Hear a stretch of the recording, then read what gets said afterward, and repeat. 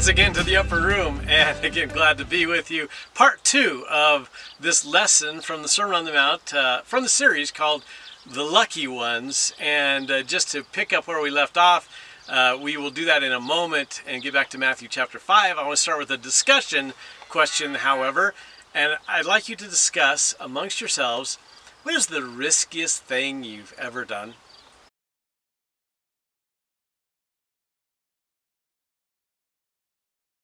It's not easy, is it, to qualify what is the riskiest thing. Some things seem risky at the time, and then you look back and go, oh, it wasn't really that risky. Some things you don't think are going to be risky, and they end up being very risky in the end. One of them that comes to mind for me is when our son Caleb was very young, maybe six or seven years old, and a friend of mine who was a captain in the fire department in Tucson said, I've got a friend who is the one who trains highway patrolmen how to drive has this track out here where he trains them and and he knew how much Caleb loved, was fascinated with fire engines, fire trucks, police cars. He said, would Caleb like to do this? It was kind of a spontaneous thing. So I didn't say anything to Christy about this. And so I said, sure. So we jump in the car. Of course, they put us both in the front seat. So we have to double buckle because they don't have, you know, more than two buckles in the front seat. And this guy begins to do the things that he would do in training somebody how to drive at high speeds, to, you know, strange things that need to be done in these chases. And at one point he was going 90 miles an hour and he looked at Caleb and he said, do you want to go faster? And I was, I almost said, no. And Caleb said, yeah and he got up to like 110 and while we're doing this he did all the the spins you know the 180s and all those kinds of things. And my thought was this if i don't die if we don't die in this process i will die when i get home and tell my wife what i just did with caleb.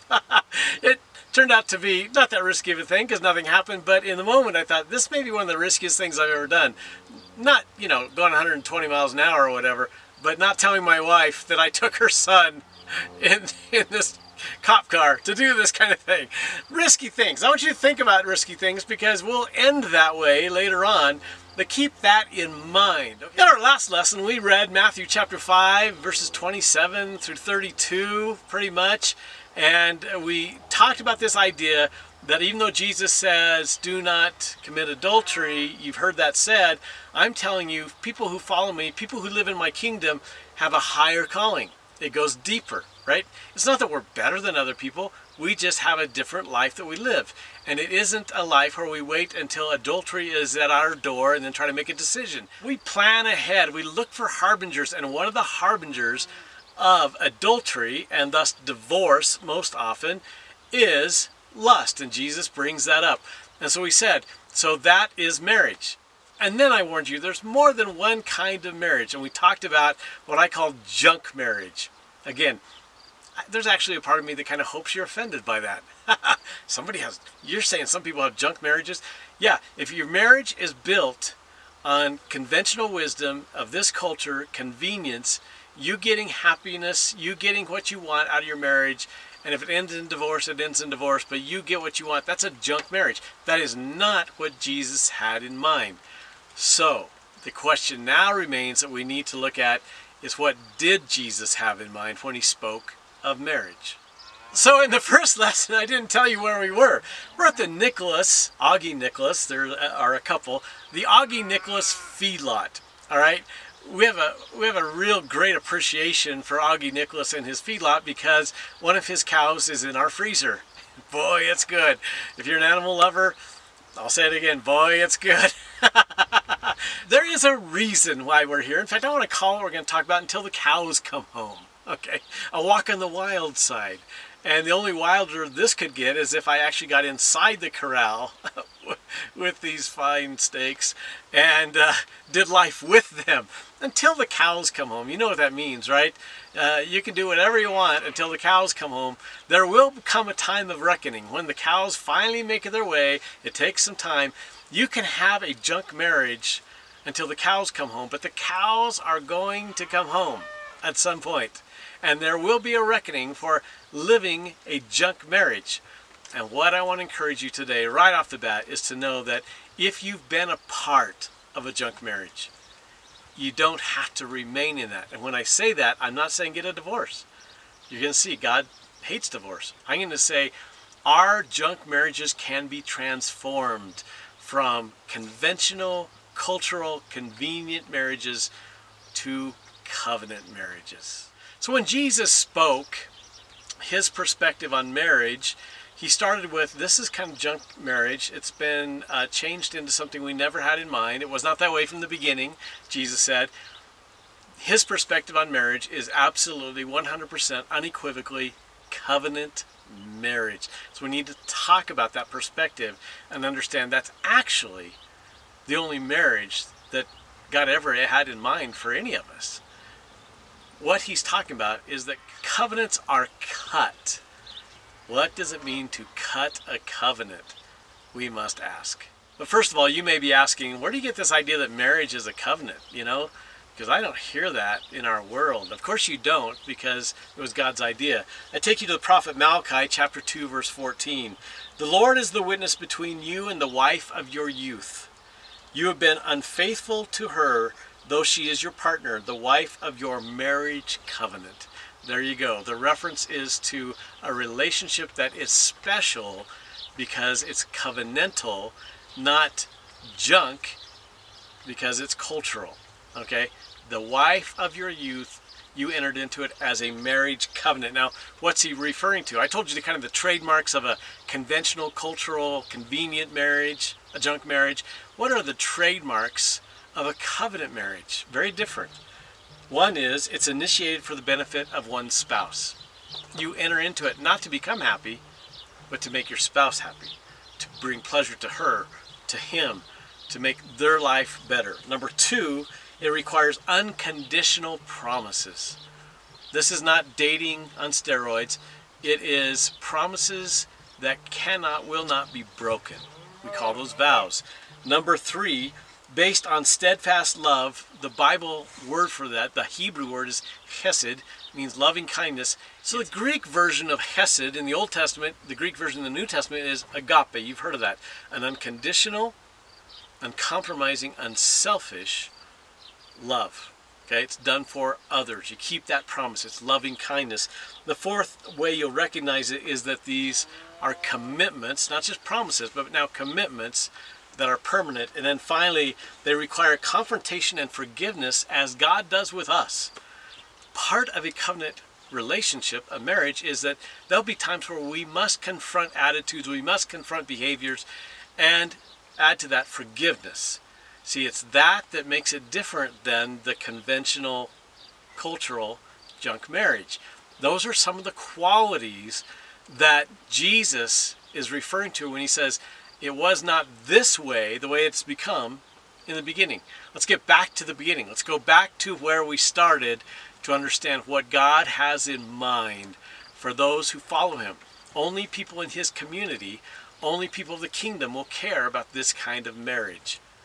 I'm hoping and praying that if you've not understood it, today you understand it, and this is what you continue to do or transition into. I don't want to assume that you know where this all started, so we go back to Genesis chapter 2, verse 18. Then the Lord God said, It is not good for man to be alone. I'll make a helper who is just right for him. We've mentioned this. He's talking about Eve. And the word helper is not a servant, a slave, a menial object, as our culture would treat people. The word helper is the same word that's used of his role with us. That we can't live without him. You won't be able to live without her, Adam. And then he goes on to verse 21. So the Lord caused the man to fall into a deep sleep. While the man slept, the Lord God took out one of the man's ribs and closed up the opening. Then the Lord God made a woman from the rib, and he brought her to the man. At last the man exclaimed, This one is bone from my bone and flesh from my flesh. She'll be called woman because she was taken from man. This explains why a man leaves his father and mother and is joined to his wife, and the two are united into one. Now the man and his wife were both naked, but they felt no shame. There is no shame in the marriage that God ordained. Okay, she is unlike any other being that Adam has seen. She too now is the image bearer of God. Okay, so that's why Satan, the enemy, hates us, every one of us. You know, if you think he's on your side, he's not. He hates us because we are the image bearers of God. We bear his image. These cows, as scrumptious as they are, do not bear the image of God. And it's going to become very obvious here in just a little bit. Okay? What other animal, plant, you know, earthly feature you have fallen in love with, fine. So we are different from the cows. Okay, we're not all equal. They do not bear the image of God. Whatever dog, cat, animal pet you love, great. Love them. They are not human. These are not human. Only humans. Adam and Eve were the image bearers. That's why Adam said, Oh, she is different than all the other creation that I see. Okay. And then he says the two will become one. That word, word one is very special. It means intimate. Intimate. It is a picture of intimacy. And I just want to tell you flat out that everything in your marriage, everything in my marriage, comes down to this one fact. If you want to get some counseling, some marriage counseling free right now, here it is. We were designed for intimacy, but the enemy wants isolation. God's idea was intimacy, oneness. The enemy comes in and says, I will isolate you from one another. And everything we say, everything we do, every rolling of the eyes, every folding of the arms, everything. Can you see? Can you see me? You're out there somewhere. Seriously, I'm gonna take a shower. everything we do will either take us towards intimacy or help us drift into isolation. Intimacy is of God, isolation is of the evil one. It is isolation then that we eventually, isolation is a harbinger of terrible things to come if we don't intercede there, if we don't stop that pattern. They became one. We were meant to be one. One emotionally, one socially, one physically, and one spiritually oneness, a team. Okay, that's what it all comes down to. Everything in your life, if, if there are struggles and challenges, they are probably trying to divide you and lead you into isolation. Activities, even children. Get rid of the children. Just kidding, don't get rid of the children. Quit putting them between you and isolating one another because you have children between you. They're welcome members of the family, but they are not to interrupt the intimacy, the oneness of a man and a woman. And it is a beautiful thing. Covenant marriage is the real deal. It's the authentic thing. And it is a beautiful thing, unlike the tragedy of junk marriage that we see all around us, inside the church and out. So I mentioned that when it comes to covenant, there is the cutting of a covenant. That's that's kind of the reference in Scripture, the cutting of a covenant. What does that mean? Kay Arthur, in her excellent book, Our Covenant God, puts it this way. When two people enter into covenant, neither belongs to himself any longer because those who enter into covenant take on an obligation to their covenant partner. In covenant, two become one, and they make an obligation that literally would require their lives if they broke it. This was often referred to as a walk into death because the partners walked through the pieces of the flesh. What is she talking about? That's crazy. Okay, the Hebrew word for covenant is brit, and brit means to cut. It was understood from ancient times to cut a covenant meant that at some point flesh was cut and blood poured out. Okay, might remind you of circumcision. Not that you can remember that if you're a guy, but that's the concept. That was the sign of covenant for the Jewish people, right? Circumcision. Again, I think a mood ring or something else would have been better, but that's what God chose. And so to enter into a Brit, a covenant, was to enter into the cutting, the official commitment. And what was it? God made a commitment, a covenant with Abram, and the commitment was, I will give you a land, some property a place. And Abraham was excited, but he kind of wondered, how's this really going to play itself out? You know, and he really was unfamiliar with the idea of what God was talking about. So we pick it up in Genesis 15, verse 8. But Abram replied, O sovereign Lord, how can I be sure that I actually possess it, that land? When I get there, you say, This is yours. Are you going to give me a deed? How, how do people know that's my land? The Lord told him, Bring me a three year old heifer. I don't know how many of these are three years old. But bring me a three year old heifer, a three year old female goat, a three year old ram, a turtle dove, and a young pigeon. So Abram presented all these to him and killed them. Then he cut each animal down the middle and laid the halves side by side.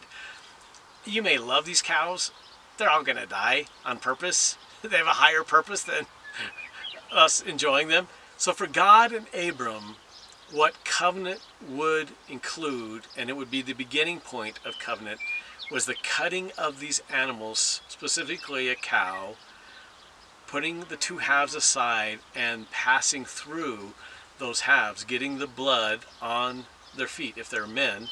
And we're going to see this played out. Verse 12 As the sun was going down, Abram fell into a deep sleep, and a terrifying darkness came down over him. Then the Lord said to Abram, and now he makes his covenant with him, tells him what he's going to do for him. And then in verse 17, after the sun went down and darkness fell, Abram saw a smoking fire pot and a flaming torch pass between the halves of the carcasses. So the Lord made a covenant with Abram that day. How did he make the covenant? How did he seal it? How did he say, it's enacted now? God is often referred to his presence as a light, right? We know that from John chapter 1. A torch, and that torch passed through the halves of the carcasses, passed through the halves of the heifer. And from that point on, a covenant was cut. That's what that means. Covenant is synonymous with Brit. Cutting a covenant is what we're talking about. That's why at a wedding, most often, every time I can remember, the wife, the future wife with her dad, walks down between the halves. Did you know that? When they leave, the husband, the new husband and wife, lock out between the halves. That's what it means. We have now entered into a covenant. But junk marriages don't know that. In fact, junk marriages, I don't believe, have made that covenant. They've entered into a very cultural way of understanding marriage. So remember, cutting a covenant means I'm in this for you. That is so different than our culture, isn't it? Our culture is all about my happiness, my feelings. You know, don't judge me. I'll decide if there's a God. Covenant is a whole different thing. It's genuine. It's exactly what God had in mind. I'm in this for you. And can you imagine if both a husband and a wife for a lifetime said, I'm in this for you. What's in your best interest? How does this practically look? Paul talked about it, 1 Corinthians chapter 7, verse 4. The wife gives authority over her body to her husband, and the husband gives authority over his body to his wife. Verse 32. I want you to be free from the concerns of this life. An unmarried man can spend his time doing the Lord's work and thinking how to please him. But a married man has to, why? Because he's in covenant, has to think about his earthly responsibilities and how to please his wife. His interests are divided. In the same way, a woman who is no longer married or has never been married can be devoted to the Lord and holy in body and in spirit. But a married woman in covenant has to think about her earthly responsibilities and how to please her husband. He right there says, I am reminding you of what a marriage covenant is. You have a man looking out for the needs of a woman and a woman looking out for the needs of a man, and therefore they don't have to look out for themselves. I can trust my needs will be met, and if they're not, delayed gratification. I believe it will work. See the difference between junk marriages and Jesus marriages, between cultural marriages and covenant marriages. Philosophically, they couldn't be more different. Now, in the last lesson, we talked about Matthew chapter 19, and in verse 10, after Jesus has that exchange with the Pharisees, the disciples chime in, if you remember, and they say this If this is the situation between a husband and a wife, it is better not to marry. They said, if this is what marriage has come to, and here's where we get to the title of these messages the riskiest decision of your life. Why is marriage? And I do believe it is. Covenant with God is not the riskiest decision. Yes, you give up your life, but look what you get in return. A God who is always loyal, always faithful, always looking out for your needs, taking care of you for all of eternity. How can that be risky? It's not risky at all. But you enter into a covenant with another human being, now we're talking risk. And the situation the disciples are talking about is that is so risky. I don't think anybody should be married, right? it is risky. I don't know if you ever thought of marriage as being so risky. Steve, I'm a little offended that you'd call marriage risky. That sounds like something we shouldn't do.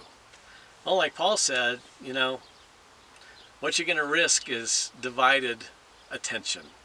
And there's more. Let me ask you if you're getting ready to get on an airplane and they said, hey, welcome to such and such airlines, we have a 50% chance of landing safely at our destination. Would you stay on that airplane? There's no way you would. Would you? If you were getting on a bus and the bus driver said, hey, I'm glad you're on our bus, uh, you need to know that half the time I crash and people die. Would you get on that bus? Would you get on that train? Would you get on that boat? Never! You'd say, too risky. And yet, we enter into marriage all the time at a 50% chance it will crash and burn. Risky. It is risky. I believe is the riskiest decision of your life. No other decision. You know, you buy a car, doesn't work out, yeah, buy another one. You buy a house, you know, it's a lemon of a house. I guess cars are lemons, but it's a house, it's a money pit. You'll find a way to get rid of it, you know. you can move on. Marriage, it's for life, right? There's a 50% chance it'll crash and burn. The question is why? And I've already given you the answer. Why do half of the marriages crash and burn? Because they're junk marriages, because they're cultural marriages where the focus is falling in love. If you want the real deal, if you want to live out a marriage that honors God, lasts a lifetime, you'll need a covenant marriage where you don't fall in love, you commit to love. You commit to an agreement where you look out for the best interest of the other person for the rest of your life. Okay, I want to tell you one of the telltale signs that a couple are investing in a cultural marriage that is sabotaged from the beginning, and that is all their focus is on the wedding ceremony. That's where all their focus is. I've had this happen so many times. I say, you know, with couples, and I, I really don't do weddings anymore because of this, because it's pretty difficult to find a couple who understands and really wants a covenant marriage. But I would often tell them, this will take at least six sessions before we can commit to doing a ceremony. Nobody wants to do that because they just want the ceremony. In fact, a study out of Emory University uh, showed that the more expensive the wedding ring, the less likely the marriage will last. Can you believe that? You can believe that. If all the focus is on what is seen, what is unseen will begin to bubble underneath the surface and it'll come to the surface eventually and it won't be pleasant. Uh, we know we have some good friends who talked about a wedding they went to in Southern California on the beach and they said it was, you know, by far the most expensive wedding they'd ever been a part of. And, you know, I know the weddings now, I think average $20,000, but some of these weddings are $100,000 in expense. I would tell you the same is true. If that kind of money and time and energy is spent on a ceremony and no time is spent on the marriage, it's a cultural marriage that is really in trouble from the very beginning. So you can see it coming. That if somebody doesn't want to prepare for the lifetime covenant they're about to enter into of selflessness, you're probably going to be in a junk marriage. I know this is blunt, but I got this from Karen. You can blame Karen. Remember Karen? I'm just cutting through the big story. What you'll understand is that covenant marriage uh, parallels discipleship. It really does. And Dietrich Bonhoeffer once said in his book, The Cost of Discipleship, it, meaning discipleship, is costly because it costs a man his life. Risky stuff. If you enter into a covenant relationship, a covenant marriage, it will cost you your life. You will put your life on hold so that you can serve another and celebrate another and put her needs, put his needs before your own. Now that's a lasting relationship. Somebody once said that Christianity is not for cowards because when you enter into a blood covenant with Christ, it means you have died to yourself. And no coward would ever die to himself. To be in a covenant marriage means you have died to yourself. There aren't many, but the ones that exist are doing it the way God intended and it is the authentic, real deal. Steve, this is just such a downer. I mean, you're talking about dying and walking in blood and blah, blah, blah. I don't like this. That's why a lot of people don't like the Sermon on the Mount. because Jesus cuts through the big story of our lives and says, here's reality and here's what I have for you. Because with that great risk, you got it, comes great reward. There is no reward like oneness for a lifetime. None like it. Psalm 25:10. All the paths of the Lord are loving kindness and truth to those who keep his covenant and his testimonies. Life and truth is what you are entering into in a marriage covenant. If you're an old geezer like myself, you remember Simon and Garfunkel, uh, the duo that became famous, a great harmonizing between the two of them, Paul Simon and Art Garfunkel. There's a story behind this. I want to. I'm just going to tell it quickly. Art Garfunkel, when he was in college, I believe it was an Ivy League school. I don't remember which one it was. Doesn't really matter. Had a best friend named Sandy, and they did everything together. I mean, they just you know loved being together, hung out together shared their lives together. You know, just good, good buddies. I don't know if you had one of those buddies or uh, one of those girlfriends, you know, when you were in college, but that's the way it was for Art and Sandy. But one day, Sandy, who was going to become this um, really important financier, Sandy's vision began to blur a bit, and it got worse and worse. And eventually, the bad news came out that he was going blind. Well, at this point, people usually would kind of distance themselves. I don't know what to do with a person who's blind. Hard to know how to help someone who's visually impaired, but Art Garfunkel did not do what most people do. You see, Sandy went home and he pretty much gave up on life. Thought, my life is over, I, I can't see anymore. Art Garfunkel went to his home, knocked on his door, and said, You are not going to quit on life. And the long story short is that Art Garfunkel fashioned his life around Sandy's well being and Sandy becoming the person that Sandy always wanted to be. So he organized his life around helping Sandy. And it's a great story because Sandy eventually did accomplish the things he wanted to accomplish. It might have gotten his master's and doctorate and uh, became very successful. So later in life, when Sandy was at Oxford getting his doctorate, he got a call from his buddy Art, who had made all this possible. And Art said, "Hey, a buddy and I want to do an album, but it's going to cost like four or five hundred dollars, and we don't have it." And do you think Sandy even thought for a second? He says, "I have four hundred dollars in my bank account. It's yours." Gave to him, and that is how Simon and Garfunkel began. Isn't that a great story? The idea that somebody would fashion their life around helping another. That was like almost like a covenant. That was almost like a David Jonathan covenant kind of thing. And it's a great example of what marriage, covenant marriage is supposed to be. That the man fashions his life over helping his wife become who God has for her to become. And she does the same for him. And when that's going on, it is a beautiful thing. High risk, higher reward. But again, I can't minimize the risk.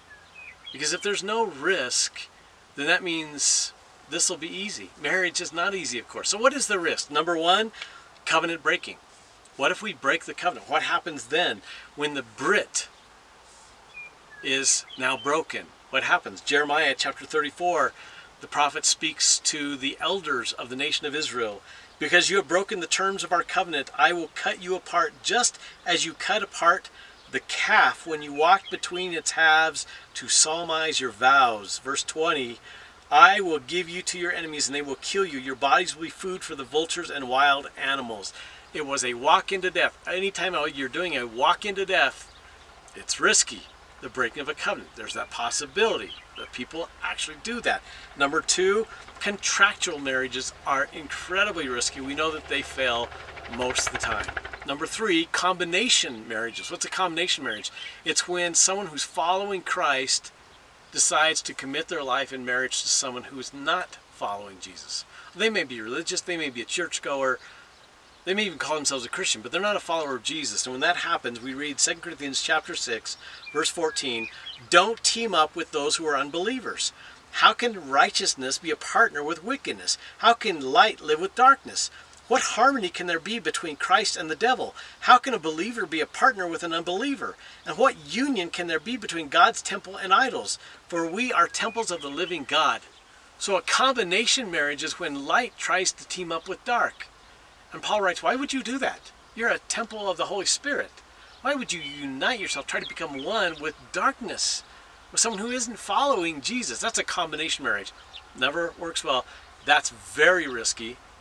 Seldom works out. And number four, big risk of entering into marriage is the continual ripple effect on the generations to come. Back to Malachi chapter 2, verse 15. Didn't the Lord make you one with your wife? Wasn't it about intimacy? Wasn't it a covenant? The prophet says. In body and spirit, you are His. And what does He want? What does God want? Have you ever thought that? What does He want from us? You may love this answer, you may hate it. The answer from God through the prophet Malachi is He wants godly children from your union. He wants you to reproduce a love, a passion for God. Godly children. Not just polite, not just moral, not just conservative. Godly children from your union. So guard your heart. Remain loyal to the wife of your youth. I hate divorce, says the Lord, the God of Israel. To divorce your wife is to overwhelm her with cruelty, says the Lord of heaven's armies. So guard your heart. Do not be unfaithful to your wife. Again, in those days, typically, uh, almost in every case, it was a husband who looked at the woman as an object and said, I can do it with or without you, I'm going to do without you, and brushes her aside. And God warns, I want godly children. They will not happen unless both of you are committed to this thing I instituted called marriage. So, what's the point? As it was with murder and really the conversations about anger, the whole point was Jesus was saying, my creation, humanity, is precious. And if you live a life of anger, you're going to harm my creation, the preciousness of others. And guess what? He's saying the same thing. The Pharisees of Jesus' day, the Jewish leaders over the history of Israel, had treated women as objects not as precious children of God. And you can see in the ministry and life of Jesus how he turned that around, how he flipped the tables. He always treated women as precious children of God. And so in our day and age, it's not just women, it's men. All humanity is to be treated as precious children of God. And to lust is to treat as an object. To desire something other than what God has given you is to treat that as an object.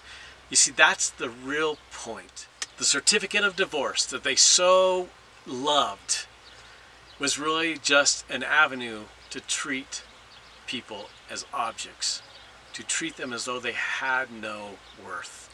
I want you to again to go back in your time together and read this Matthew 5 passage and now see it differently. It's not just, you know, you shouldn't have sex outside of marriage. It's much deeper than that. It is you now, as kingdom people, followers of mine, will learn how to love others in a way that the world does not get, does not understand, and is not able. Because you see all humanity as precious. Because all humanity is made in my image. So, what can we learn? Lesson number one actually, adultery is not just a physical act, it is um, a heart issue, as Jesus said. So, we got to get back What's wrong with my heart that I would desire, that I think I deserve something beyond what God has given me? I need to appreciate what He's given me. I've got a heart issue that needs to be dealt with. Number two, the preciousness of others is so valuable and essential to life in the kingdom that I must be willing to take extreme measures in order to exercise what Jesus has called me to. It's true in my marriage, it's true in your marriage, and if you ever do get married, that's what you're looking for. All right? Forget tall, dark, and handsome. Forget rich. You're looking for someone who gets this idea. Someone who wants to have a covenant marriage, not a conventional, cultural, convenient marriage. So now when you think of marriage, I want you to think of these cows. somehow our grandsons, we were eating lunch one day, somehow they started saying their, their word for Christy is Mimi, and one of them, I'm sure it was Keaton, said, Mimi's a cow. And he didn't mean it mean, you know, he's four years old. But I immediately realized, I gotta stop this now. and so I said, no, Mimi's not a cow, Mimi's the queen. And Colton, the younger one, said, No, Mimi's cow. I said, No, Mimi's not a cow. Mimi's a queen. so eventually, it took a little time, but eventually they got it. And just recently, that was weeks ago, just recently, they both said, Mimi, you're the queen. There you go. Mimi's the queen. In case you forgot, and it's easy to forget what we've talked about in these two lessons, let me end with kind of a parable, because parables are easier to understand. They stick with you. Jesus knew that. I read to you from John Ortberg's book, Love Beyond Reason. I'm going to read it verbatim because it is a great parable of what we have been listening to from the lips of Jesus. Her name was Pandy. She had lost a good deal of her hair, one of her arms was missing, and generally speaking, she'd had the stuffing knocked out of her. She was my sister Barbie's favorite doll. She hadn't always looked like this. She had been a personally selected Christmas gift by a cherished aunt who had traveled to a great department store in faraway Chicago to find her. Her face and hands were made of some kind of rubber or plastic so that they looked real, but her body was stuffed with rags to feel soft and squeezable like a real baby. When my aunt looked into the display window at Marshall Fields and found Pandy, she knew she had found something very good. When Pandy was young and a looker, Barbie loved her. She loved her with a love that was too strong for Pandy's own good. When Barbie went to bed at night, Pandy lay next to her. When Barbie had lunch, Pandy ate beside her at the table. When Barbie could get away with it, Pandy took a bath with her. Barbie's love for that doll was, from Pandy's point of view, pretty nearly a fatal attraction. By the time I knew Pandy, she was not a particularly attractive doll. In fact, to tell the truth, she was a mess. She was no longer a valuable doll. I'm not sure we could have given her away. But for some reason that no one could ever quite figure out, in the way that kids sometimes do, my sister Barbie loved that little rag doll still. She loved her as strongly in the days of Pandy's raggedness as she ever had in her days of great beauty. Other dolls came and went. Pandy was family. Love Barbie, love her rag doll. It was a package deal. Once we took a vacation from our home in Rockford, Illinois to Canada. We had returned almost all the way home when we realized at the Illinois border that Pandy had not come back with us. She had remained behind in the hotel in Canada. No other option was thinkable. My father turned the car around and we drove from Illinois all the way back to Canada. We were a devoted family, not a particularly bright family, but a devoted family. We rushed into the hotel and checked with the desk clerk in the lobby. No Pandy. We ran back to our room. No Pandy. We ran downstairs and found the laundry room. Pandy was there, wrapped up in the sheets, about to be washed to death. The measure of my sister's love for that doll was that she would travel all the way to a distant country to save her. The years passed by and my sister grew up. She outgrew Pandy. She traded her in for a boyfriend named Andy, who oddly enough was even less attractive than the doll Pandy.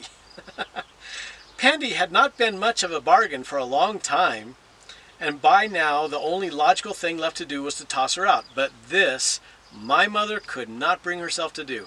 She held Pandy one last time, wrapped her with exquisite care in some tissue, placed her in a box, and stored her in the attic for 20 years. The nature of my sister's love is what made Pandy so valuable. Barbie loved that little doll with the kind of love that made the doll precious to anyone who loved Barbie. All those tears and hugs and secrets got mixed in with the rags somehow. If you love Barbie, you just naturally love Pandy too. More years passed. My sister got married, not to Andy, and moved far away. She had three children, the last of whom was a little girl named Courtney who soon reached the age where she wanted a doll. No other option was thinkable. Barbie went back to Rockford, back to the attic, dragged out the box. By this time, though, Pandy was more rag than doll. So my sister took her to a doll hospital in California. Yes, there really are such places. And had her go through reconstructive surgery. Pandy was given a facelift or liposuction or whatever it is they do for dolls until after 30 years Pandy became once again as beautiful on the outside as she had always been in the eyes of the one who loved her. I'm not sure she looked any better to Barbie, but now it was possible for others to view what Barbie had always seen in her. When Pandy was young, Barbie loved her. She celebrated her beauty. When Pandy was old and ragged, Barbie loved her still. Now she did not simply love Pandy because Pandy was beautiful. She loved her with a kind of love that made Pandy beautiful. There are two truths about human beings that matter deeply. Number one, we are all rag dolls, flawed and wounded, broken and bent. Number two, though, we are God's rag dolls. He knows us and knows all about our raggedness, and He loves us anyway. There is such a love, a love that creates value in what is loved. There is a love that turns rag dolls into priceless treasures. This is what Matthew 5 27 through 32 is about. It's another way of saying what Jesus is saying. You heard it said, but I tell you love me, love my rag dolls. And so, covenant marriage is actually not one of two marriages, it is the only marriage that God recognizes. A marriage of selflessness, otherness, and treasuring the priceless preciousness of one of God's rag dolls. It's who we are. It's what we do. It's what He does. Aren't we lucky? Thanks for joining us.